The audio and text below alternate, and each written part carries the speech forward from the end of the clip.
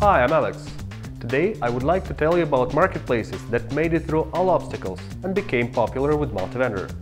Learning about them is a good way to understand what should be done to become successful. Let's begin. Clever Little Monkey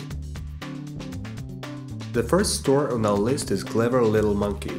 They provide a wide range of goods for children, starting from beds and nurseries to toys and decorations. From parents to parents. That's what the marketplace owners say. This is a group of dedicated women who want to make childhood better. This marketplace is based in Cape Town, South Africa. Lots of children goods producers from around the world sell their products here. Clever Little Monkey Marketplace has two showrooms where customers can try products and learn more about vendors. The Great British Store. Next is the Great British Store. And in this case, the name says it all. All its vendors are UK registered businesses selling UK designed products and services.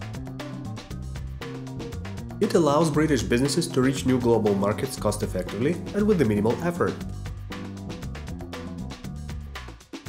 The Great British Store began its life on a UK trade and investment export trade mission, where its founders came up with the idea of a central, visible reference of British products and services.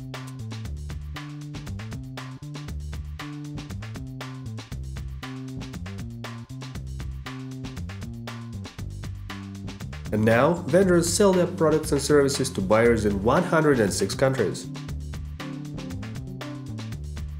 Artany This is an online gallery and marketplace for American artisans selling handmade and unique items.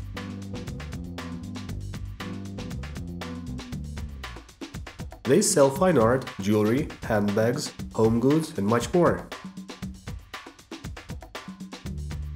Its founders personally curate vendors and their products, and a portion of each sale is donated to charity. There are many people out there on the internet building their success and helping others.